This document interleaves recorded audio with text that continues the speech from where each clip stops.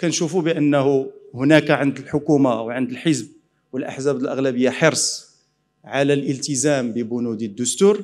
في المقابل تنشوفوا بأن هناك حرص من طرف واحد الحزب السياسي على أنه يعطل الاليات الرقابه اللي كاينة في البرلمان خاصة أنه عنده فريق محترم داخل مجلس النواب عنده حضور داخل المكتب ديال السيد رئيس مجلس النواب يترأس لجنة مهمة عندها علاقة بالقضايا الاجتماعية.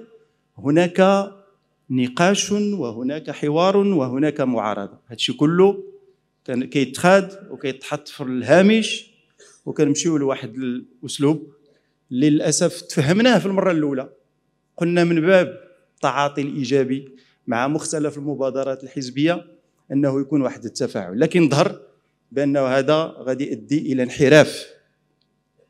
إلى انحراف في المشهد السياسي وفي الحياة السياسية لأنه لا يمكن بأي نوع من الأنواع أن نقبل بأنه نحيد مقتضيات دستورية كتطلب من السيد رئيس الحكومة يمشي للبرلمان في في مناسبات محددة لا الفصل 100 ولا الفصل 101 من الدستور ونجيو ونوليو ندخلوا في واحد النقاشات اللي مرتبطة بواحد الإجابات على بعض الورقات التي تكتب تكتب هذه الورقات ربما من بعض الوافدين الجدد على هذه التنظيمات.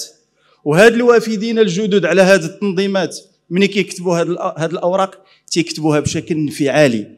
ربما تيرتبط بالتواجد ديالهم في واحد المؤسسات أو لا بالرغبة ديالهم إلى دخول مؤسسات. واش هكذا كندخلوا للمؤسسات ديال الدولة؟ اللي بغى يدخل لمؤسسة الدولة خصو يدير الانتخابات وخصو يهبط عند المواطنين ويهضر معاهم. ويقبلوه كيف ما قبلوا التجمع الوطني للأحرار ويصوتوا عليه.